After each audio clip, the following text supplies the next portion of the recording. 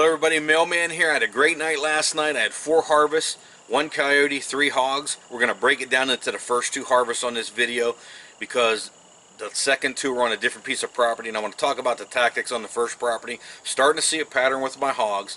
Coyotes are everywhere right now. You got a lot of young coyotes running around. I went back to a piece of property. It's a large field property. I mean, there are a lot of fields in this area. I generally always see coyotes, but sometimes they're a thousand yards too far to shoot. Got back down into an area where we had a triple before. My son took one off of it, and I put out pup howls, pup chatter. That's what I'm starting with now. They located right where last time they were. So I want to move up into that area. There's a few islands of oaks up in that area. And what the hogs are doing now is they're crossing the open fields and getting into those oak tree islands, I call them, out in the field. They're just it's a circle of oak trees out there in the open, in the fence. The hogs are coming out at night now to get those acorns that have been falling all day.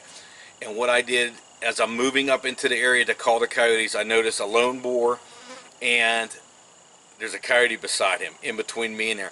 Generally, in the past, whenever I would see a hog and a coyote, I'd totally forget the coyote. I'd move in and take the hog.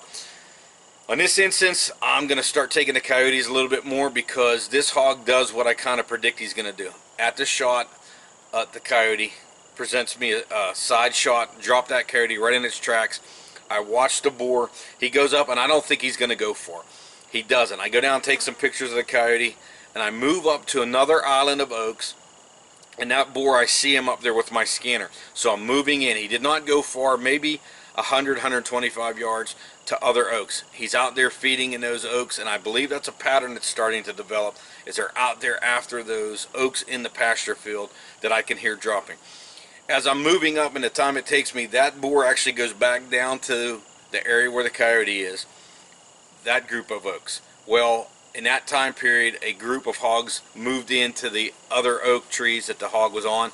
I just moved in, picked the biggest one out of the group that I thought was, and I dropped that hog right there on the spot. So in the first two fields, it was a matter of young coyotes are running around everywhere. If you can get out for coyotes, now's the time to get out. It's when you're going to get your easy, naive coyote, coyotes. I know everyone's out there deer hunting right now, but coyotes are pretty easy right now to call in. This is the time you want to do it and then I moved into those island of oak trees. If you have them, or sometimes it's just one big mature oak tree that you hear dropping, that's the area these hogs are going to start keying in again and again. You actually take them off of there. It's almost like a, a bait spot. Take them off of there at 9 one night, come back the next time at midnight, start to take them. They are going to hit that tree. They know those oaks are falling from those trees right now. They want to get to that area. It's just a matter of when will they chance it. They switch up those times sometimes again and again.